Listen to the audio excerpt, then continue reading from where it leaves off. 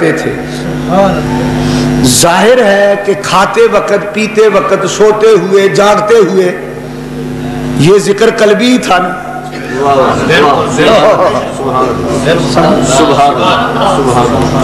तो हुजूर से इस हदीस के ज़रिए ज़िक्र कलबी साबित हुआ। हमारे मशाइख सूफी ये बताते हैं कि जो दम गाफिल सो दम काफिर। हर ज़िक्र करो। तो लोगों को समझ नहीं आता। ये कुरान में जितनी ज़िक्र की ये बातें आयतें आती हैं तो हम उन लोगों से कहते हैं, जी, ये सूफियों ने ज़िक्र कुरान से लिया, ये ज़िक्र की आयतें। तो वो जवाब देते हैं, जी, ज़िक्र से मुराद नमाज़ है। तो अगर ज़िक्र से मुराद कुरान में नमाज़ है, कभी कहते हैं, जी, कुरान की तलावत मुराद है, नमाज़ और कुरान की तलावत, ये ज़िक्र ही है ना? ये लतीफों में क्या रखा है इधर उधर करते हैं। बस नमाज़ पढ़ो तलावत करो ज़िक्र है। तो मैं पूछता हूँ उन नादानों से कि यजकुल्ला फ़ी कुल्ले आयान ही हुजूर हर वक्त ज़िक्र करते थे। क्या मतलब? हर वक्त नमाज़ पढ़ते रहते थे। समझे बात मालूम हुआ ज़िक्र से मुराद हर जगह नमाज़ नहीं। फिर कहते हैं जी, कुरान की तलावत मुराद है। तो क्या हुजूर हर वक्त कुरान की तलावत करते रहते थे? सोए हुए भी? हर वक्त सोए हुए भी नमाज़ पढ़ते रहते थे।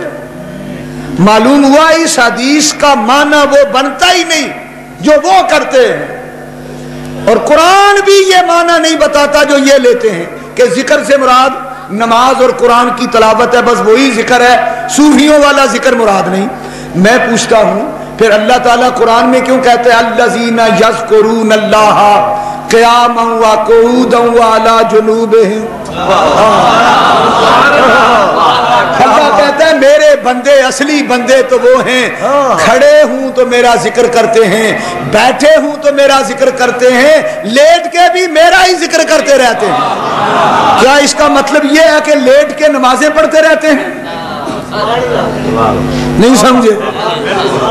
मालूम हुआ, ये बदबख्त कुरान के गलत माने लेते हैं, हदीस के गलत माने लेते हैं। हर वक्त लेट के खड़े होके बैठ के नमाज़ नहीं होती नमाज़ के औकात हैं, किताब मौकूता है। ना हर वक्त नमाज़ पढ़ी जा सकती है, ना हर वक्त तलावत की जा सकती है। एक काम ऐसा है जो हर वक्त हो सकता है और वो ज़िक्र है, ज़िक्र है।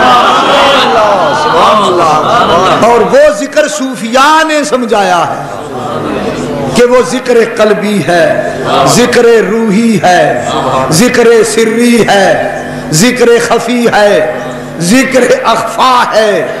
और ये पाँचों ज़िक्र सीने में है। और लतीफा नफ्स माथे में है। और चार लताइफ लतीफा कालबिया के, हवा, पानी, आग, मट्टी, ये नाफ के साथ हैं, ये दस लतीफे हैं। कहते हैं जी, इन लतीफों का सबूत कहाँ है? हज़रत मुजद अल्फसानी ने फरमाया लतीफ़ा नफ्स वस्त पेशानी में है। लतीफ़ा कल्ब रू सिर खफी अखफा सीने में है। और बाकी लताइफ नफ्स के चार लतीफ़ा कालबिया, वो नाफ के इर्दा गिर्द हैं। ये दस लताइफ हैं। कहते हैं जी, अल्लाह ने लतीफ़े टांगों में क्यों नहीं रखे? आगे देखो, उज्जतबाजी। हाथों में क्यों नहीं रखे? यहाँ क्यों रखे हैं? हम ये कहते हैं कि हमारा इतना दावा है कि अल्लाह ने रखे हैं। क्यों रखे हैं? ये तुम पूछ लो। ये तुम्हारा काम है। हम दिखा सकते हैं कि रखे हैं। हम बता सकते हैं कि कोई रखे हैं। और हमारे फकीरों का दावा है कसम रब्बे जलाल की अगर कोई मुनकर बनकर ना आए नकाद बनकर ना आए सिदक दिल से आए तो दस लतीफों की शक्लें भी दिखा देंगे।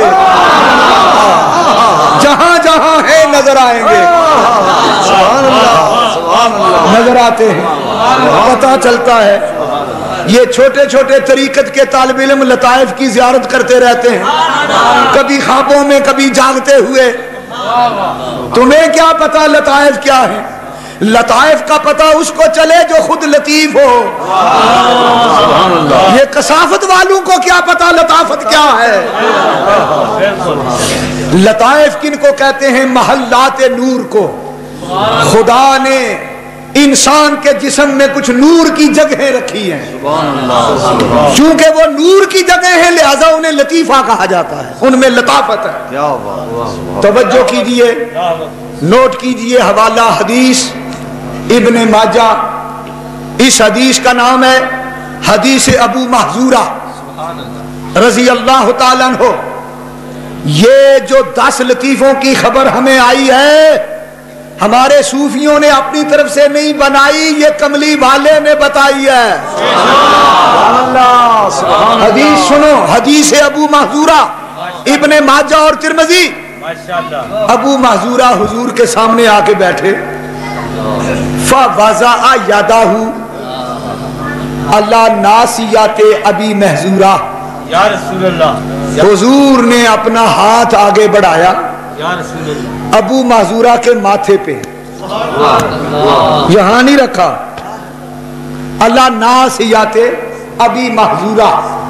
अभी महजूरा के माथे पे हाथ रखा।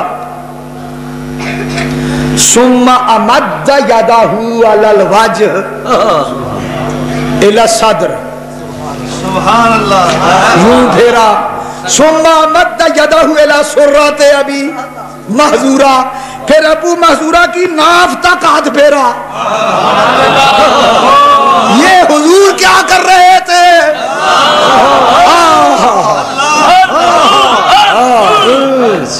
सुनिए दस लताइफ का मकाम है। अबू महजूरा के लतीफे बंद थे नबी ने हाथ पैर के खोल दिए।